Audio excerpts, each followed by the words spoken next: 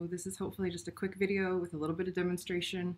I'm going to mention a bit about mixed media stuff. So mixed media, I use things like, this is matte gel.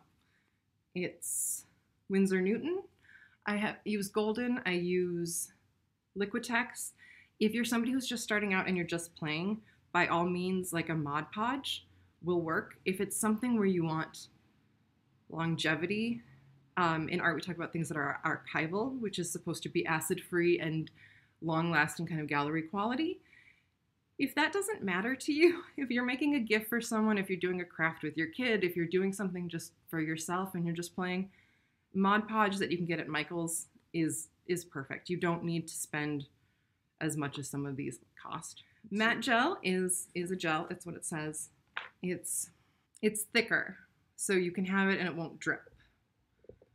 So if you are gluing down something like a postcard or something that's kind of thicker cardstock, or an object like a coin or coffee grounds, uh, a tea bag, you know, whatever kind of like little object.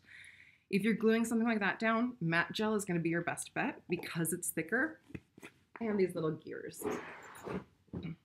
So I have lots of random objects from my mixed media days. If you put like something like that down, the other trick that you're going to want to do with that is you're going to want to press it down a bit. An X-Acto blade is a better option for this, but this is what I had available. This is the same kind of thing that can also make marks. If you want more kind of drawn marks in your paint, this will work for that too.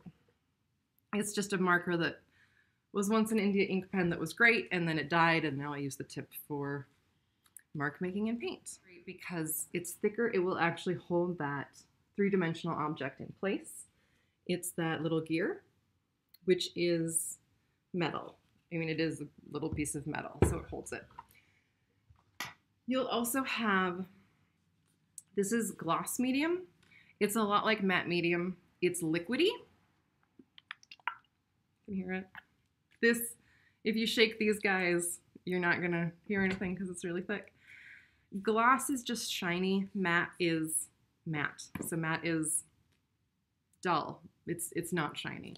It all has to do with personal preference. One isn't necessarily better than the other. It's just kind of what you like. This one is pretty thick. They're not normally quite as thick as this one is, but you'll even see that it's starting to settle where this is already starting to kind of smooth out and kind of give way to gravity more. If you're just putting down paper, then this is great. You don't need a super, a super thick kind of medium to, to hold it in place. So I just kind of spread it out a bit. Now my paint is wet. Normally you would probably wait until this layer is dry, but you don't have to. It's just when it's wet, it will change as you go because it's wet. Uh, tissue paper is super fun because when it gets wet, it's translucent. You can see whatever is underneath it. The other thing with that though is it's very fragile.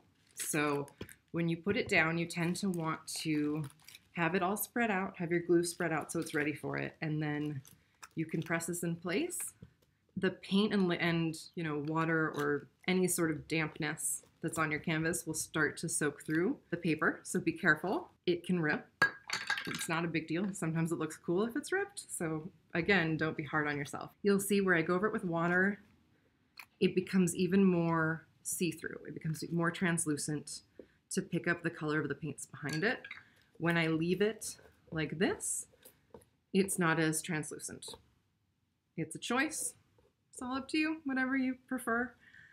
You can also take it and like crinkle and curl it kind of like this to get different shapes and texture, just more texture with the crinkles. You can pick it up, rearrange it. Just remember the more you move it and the more damp it is, the more likely it is to tear. So it's forgiving in that whatever you do is right. It doesn't matter. It's great. Whatever you're doing, just as long as you're enjoying what you're doing, is fine. But if it is something where you want a certain look or style from it, or if that's kind of what you're going for, just bear that in mind that it's very fragile. So I'll go to thrift stores and stuff and find old magazines or old books and tear stuff out of those and use them in art. There can be copyright issues with that if you're not planning on selling your work or licensing your work or whatever. If you're just making a project for yourself or for a friend or just playing or whatever, copyright isn't too much of an issue. I wouldn't stress about it. But if copyright is an issue for you, Dover makes these wonderful books of all kinds of themes. I have a ton of them that are all copyright free images. So if you are concerned about that at all, it just, you can get these books, some body stuff. They're men. That's the theme of men. But there's ones that are animals, there are some that are in color, there's different patterns. So you could get Art Nouveau patterns, Art Deco patterns. It's anything, pretty much anything. There's old travel posters, vintage labels, fun things. And so if you are at all worried about copyright, you can go to these, you can get these, cut them out, like just kind of a tray to hold my stuff because I cut out a lot of things and I don't always use I don't always use what I think I'm going to use. So here's a key that I cut out from one of these books. If you want to put down something like this, this would go down just fine with a um, matte medium or a gloss medium. Only reason I'm using gloss medium today is because I don't have any um, matte medium on hand. That's I don't necessarily want the gloss because it's it's a very noticeable shine. But sometimes the difference in shininess and dull can be a very interesting contrast in your piece as well. So, you know, there's nothing wrong with it. Again, so much of this is just what you like. There's no wrong way to do it, and that's I don't know, that's what's so beautiful about it.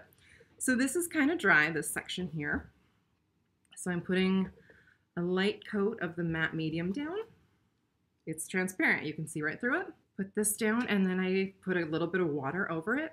When you put the water down, it absorbs into the paper and then it absorbs, it just makes all of it kind of wet together and it just kind of seals it in better.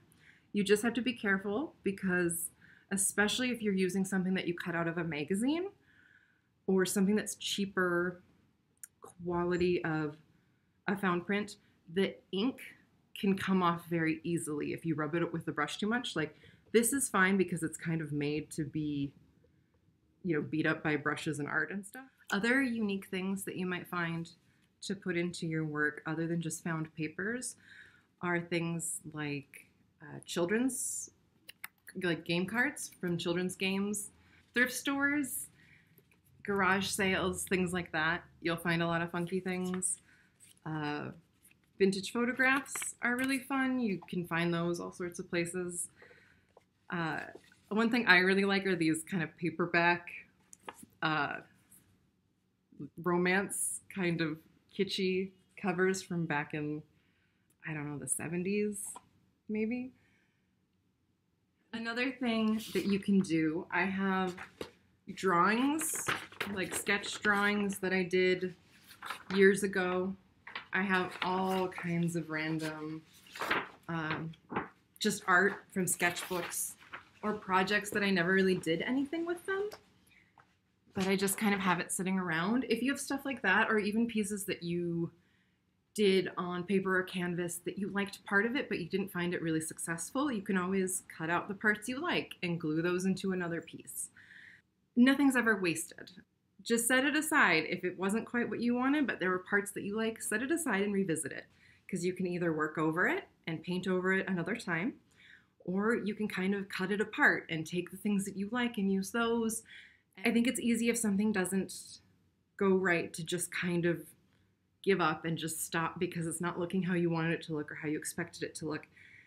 And two things are it's great to just give up, not give up, it's great to give up having an expectation of what you think it should look like. Because when I start painting, I have no idea what the finished painting will look like. Sometimes I'll be three fourths done with a piece and I finally realize where it's going. So all of them kind of go through weird, awkward phases that are not necessarily the most beautiful or not necessarily what I would consider ideal to what I wanted my piece to, to look like. But that's okay. Each artwork has kind of a mind of its own, and just let your art be what it wants to be and let it kind of evolve and grow. And I think that's the, again, the biggest part of it is just embracing the joy of, of painting and play. You know, you've been interested in trying painting, or you've been kind of curious with what some of the tools are that I use. That's my quick introduction to it. So, yeah, again, I'm Carly Swenson, and I am an intuitive artist out of St. Paul here. So, you may have heard plowing during my video because it's winter in St. Paul. So, again, if there's a lot of extra ambient noise, I'm sorry for that.